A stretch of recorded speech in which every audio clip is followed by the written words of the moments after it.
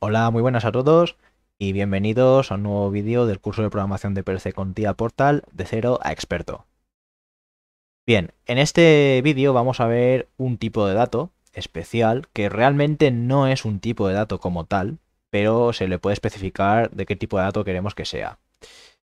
Bien, antes de entrar en detalle, eh, os voy a explicar el por qué lo que voy a explicar ahora es importante. Muchas veces, eh, como programadores, nos vemos en la obligación de declarar, de crear muchas variables de un mismo tipo. Por ejemplo, si necesitamos 16 variables booleanas, pues como hemos visto en vídeos anteriores, nos toca crear 16 eh, variables diferentes, ¿no? Con el nombre que queramos. Podríamos, por ejemplo, ponerle var1, var2, var3, así hasta la var16. Y cada variable sería una variable booleana que nosotros necesitaríamos. Cuando el programa es muy grande, cuando necesitamos muchas variables y al final eh, los nombres a veces empiezan a ser ambiguos o diferentes y no tienen mucho que ver entre unas variables y otras, al final eso crea caos en el programa. Nosotros tenemos un tipo de dato, por así decir, porque realmente no es un tipo de dato. Nosotros tenemos lo que se llama como array o vector. ¿De acuerdo? Que nos permite encapsular todas esas variables dentro de un único, dentro de una única variable, por así decirlo, ¿de acuerdo? Un array no es ni nada más ni nada menos que una colección de elementos de un mismo tipo, de un mismo tipo de dato, separados por casillas o posiciones. ¿Qué son las casillas o posiciones? Bueno, aquí tenemos ejemplos, ¿de acuerdo? Por ejemplo, si nosotros tenemos que crearnos seis variables booleanas, podemos hacerlo como hemos hecho en vídeos anteriores, anteriores declarando var1, var2 hasta var6 y asignándoles una dirección de memoria.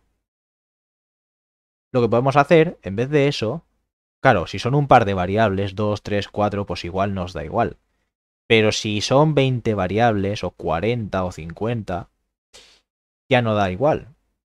Entonces el array nos facilita mucho la vida, porque nosotros podemos definir en TIA Portal que una variable sea array y definiéndole el tipo que queremos que almacene. Es decir, si nosotros necesitamos, por ejemplo, seis variables booleanas, podemos definir un array que sea del tipo bool y en ese array podemos almacenar seis variables booleanas. Y tenemos todo eso en una única variable.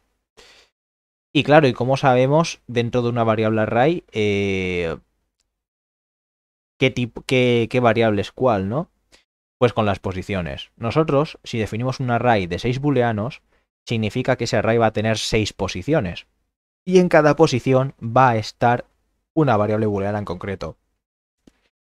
Eh, por lo general, en TIA Portal podemos especificar a partir de qué posición queremos que empiece. Pero por norma general y buena práctica de programación, es que un array empiece siempre en la posición 0, ¿de acuerdo?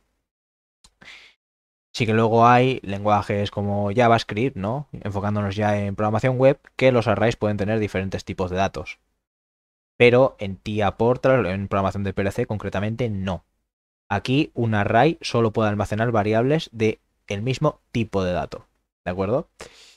Por ejemplo, aquí tenemos para array de booleanos, tenemos que es un array de 6 booleanos. Y en cada posición tenemos almacenado una variable booleana, un, un booleano, con su valor correspondiente.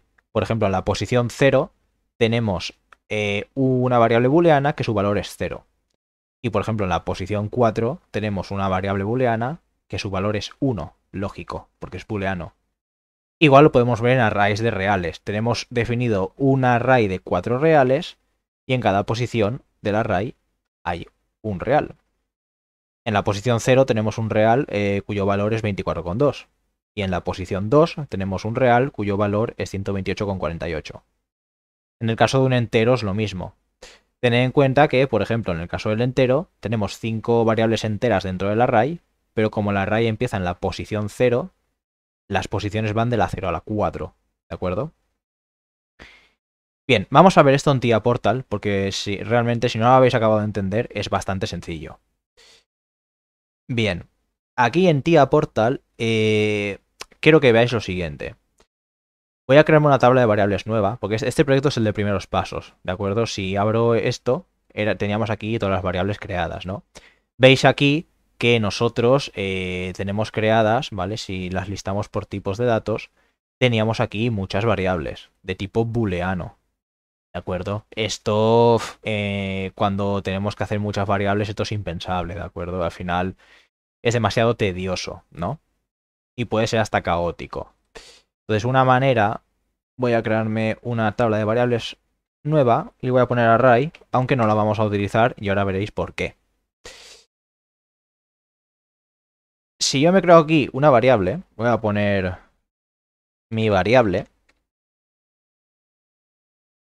Bueno, ya por defecto te aporta, nos asigna un tipo de datos bool, ¿no? Bien. Si nosotros pinchamos, vemos que eh, tia portal, pues bueno, aquí nos dice qué tipo le podemos asignar a la variable. Hay tipos de datos que ya hemos visto, como el date, o el de int, o el de word. Hay otros tipos que no hemos visto. Aquí hay muchos tipos de datos que no se suelen utilizar en la programación habitual, ¿no? Pero algunos de ellos lo podéis ya reconocer. Por ejemplo, aquí está el real. Aquí está el time, ¿no? Pero, y aquí está el word. Pero no vemos eh, que en ningún sitio nos ponga array. ¿Por qué? Esto es porque em, un array no es un tipo de dato como tal, ¿vale? Tú a un array eh, necesitas especificarle eh, de qué tipo de dato vas a, o sea, qué, qué, variables vas a almacenar, o sea, qué tipo de dato van a ser las variables que tú vas a almacenar. Me explico. Tú un array, si quieres, si quieres almacenar variables booleanas, tú tienes que decir que ese array es de tipo bool. Si quieres almacenar variables reales, tienes que decir que ese array es de tipo real. Si quieres almacenar variables Word, tienes que especificar que el array va a ser de tipo Word. Pero un array, si no lo especificas tú, un array de por sí no es un tipo de dato como tal. Por eso TIA Portal, cuando creamos una variable, no nos dice, no nos marca aquí, no nos muestra array como tal. De acuerdo. Voy a borrar esta tabla porque no nos interesa, no la queremos. Para nosotros crear array necesitamos crear, eh, necesitamos tener un bloque de datos. Los bloques de datos, al igual que el resto de bloques, eh, los explicaré en vídeos posteriores, ¿de acuerdo? No quiero que sepáis lo que es, simplemente os voy a decir que un bloque de datos es simplemente un bloque donde nosotros podemos crear variables y almacenar datos. Tan simple como eso. Pero en futuros vídeos veremos eh, esto en detalle cómo es, porque Aquí bloques de datos sí que tengo que explicar las propiedades y cosas que ahora mismo no quiero que entendáis, ni que sepáis. Vamos a ir poco a poco y paso a paso. Entonces le voy a poner un nombre a mi, a mi bloque de datos, ¿no? DB, que se llama. DB viene de data block. Bloque de datos. Entonces yo voy a poner, por ejemplo, db barra baja arrays. ¿Vale? Y esto de número, manual automático, de momento no quiero que entendáis nada. No nos interesa por ahora. Bien, como podéis observar, aquí nos ha creado nuestro DB de arrays, ¿de acuerdo? Aquí. Bien. Si nos vamos aquí, nosotros vamos a crearnos una variable y le vamos a llamar, por ejemplo, mis booleanos. Bueno, tía portal por defecto nos dice que esto de tipo bool, vale. Y nosotros desplegamos, por nuestra sorpresa, ya nos aquí dice array. Y entre corchetes nos pone LO, dos puntos, HI. Vale, LO viene de low, ¿vale? Un mínimo. Y HI viene de high, un máximo. Es decir, nosotros podemos especificar el array desde qué posición queremos que empiece hasta qué posición queremos que vaya. Puede ser posición 0, que es lo habitual, que un array empiece en la posición 0 y vaya hasta la posición 6, 8, 10, depende de las variables que necesitemos que almacene. Y nos pone of type, es decir, nos dice que definamos de qué tipo va a ser. Si nosotros aceptamos, por defecto ya nos pone array de 0 a 1 de tipo bool. Eh, como eh, veis que tiene dos posiciones, la posición 0 y la posición 1. Eso significa que esto va a almacenar dos variables de tipo bool. ¿De acuerdo? Y si desplegamos, aquí las tenemos. Tenemos el array que se llama mis booleanos, donde tiene dos variables. que realmente las variables como tal dentro de un array, vosotros, cada variable no podéis llamarla como queráis. ¿Vale? Porque dentro de un array, cada variable coge el nombre del array seguido de corchete y entre el corchete el número de la posición, ¿de acuerdo? Es decir, sería eh, un, eh, las variables que almacena un array, lo que tienen realmente es el nombre de array más corchete más corchete y vamos a poner x, ¿de acuerdo? Es decir, las variables que almacena un array siguen esta nomenclatura. Nombre del array, en este caso es mis booleanos, seguido de corchete. O sea, de entre corchetes. Y, dentro del corchete está la x, que la x significa la posición del array, ¿de acuerdo? Para que sepáis que no podéis cambiarle el nombre. Bien, aquí vemos un array de booleanos de 0 a 1. Yo puedo cambiar la posición, o sea, puedo decir que empiece en la posición 2 y que termine en la posición 7. Y aquí tendríamos estos bools, estos, estas variables booleanas, ¿no? Teníamos en este caso 6 variables. Desde la posición 2 a la posición 7. Pero lo habitual es empezar siempre en la posición 0. Si yo, por ejemplo, quiero 10 variables booleanas, yo pondría que vaya de 0 a 9. ¿Vale? De 0 a 9. Y aquí tengo 10 variables booleanas dentro de mi array. ¿Vale? De booleanos. ¿Puedo definirme otros arrays? Por supuesto. Puedo copiar, ¿vale? Yo puedo hacer esto, copiar con control C y control V pegar. ¿Vale? Y aquí, por ejemplo, puedo poner mis reales. Y aquí le puedo cambiar a real. ¿De acuerdo? Y, por ejemplo, pues puedo poner que solo quiero cuatro, cuatro reales. Y aquí los vemos. Y ya nos dice el tipo de dato real. Puedo hacerlo también para enteros, por ejemplo. Bueno, mis enteros. Es que estaba pensando en el tipo de dato. Y aquí especificarle int, ¿vale? Y puedo poner, por ejemplo, que nos vaya hasta el 15. Y aquí tendríamos un array donde tenemos 16 eh, variables enteras, desde la posición 0 a la posición 15. Bien, lo que vamos a hacer ahora es simular el PLC, ¿de acuerdo? Porque quiero ponerme, quiero ponerme online y quiero que veáis, em, quiero que veáis cómo, cómo también podemos modificar los valores en la tabla de forzados.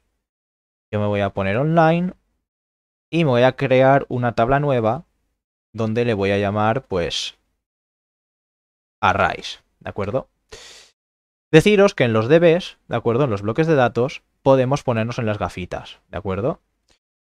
Y aquí tendríamos los valores. Valor de observación es el valor actual de las variables. Vemos que todos los booleanos están a 0, todos los reales están a 0.0 porque van con decimal, y todos los enteros están a 0 porque son números enteros, números sin decimal. De acuerdo. Si nos vamos a los arrays, voy a ampliar así el nombre, y así la dirección. Eh, ¿Cómo se decía nuestro DB? Nuestro DB se decía, o sea, nuestro bloque de datos donde tenemos almacenado las, los arrays, se llama db barra baja arrays. Si yo pongo d, ya me especifica, bueno, dos variables que tenía creadas y el db de arrays. Si yo le pulso, al, al acceder a un db, él ya con poner punto, ¿vale? Porque va a la nomenclatura esto, accedes al db, punto, y luego accedes a la variable que quieres. Ya nos dice lo que tenemos dentro del db. Que en este caso tenemos, pues bueno, nuestras, nuestros tres arrays, ¿no? Vectores o como queráis llamarlo. Si nosotros queremos acceder a una posición en concreto de un array, lo que hacemos es pinchamos en el array y, entre, y, elegimos, bueno, o lo elegimos o podemos ponerlo a pelo. Es decir, a qué dirección, a qué posición quiero acceder del array. Al 4, pues al 4. Este array va de 0 a 9. O sea que si yo le pongo un número superior, por ejemplo 14, y a portal me va a decir que no existe, ¿de acuerdo? Porque va de 0 a 9. Pero yo le pongo, por ejemplo, el 4. Bien, si yo me pongo con las gafitas, vemos que está a false. Y si nos vamos al db de arrays, el 4 está false. Claro, yo perfectamente puedo forzar el valor y si nos vamos al db, vemos que está a 1, ¿de acuerdo? Puedo también coger otros, otros arrays. Puedo coger el de entero y, por ejemplo, voy a seleccionar el 0, me da igual. Y también puedo coger el real. Y puedo seleccionar, pues yo qué sé, el 3, me da lo mismo. ¿De acuerdo? El 0 y el 3. Si nos vamos al entero... ¿No? He enviado primero el entero y luego el real. Bueno, voy a, voy a hacerlo al revés, para seguir la cronología que tengo en el DB. El real he cogido el 3 y el entero he cogido el 0. El real, el, el real de la posición 3 del array está a 0, 0 y el entero de la posición 0 está a 0. Si yo al real le pongo 48,65 y le fuerzo, vemos que en el real nos ha cambiado el valor, ¿de acuerdo? De esa posición. Y en el caso del entero, pues si yo le pongo 158, nos cambia también. ¿De acuerdo?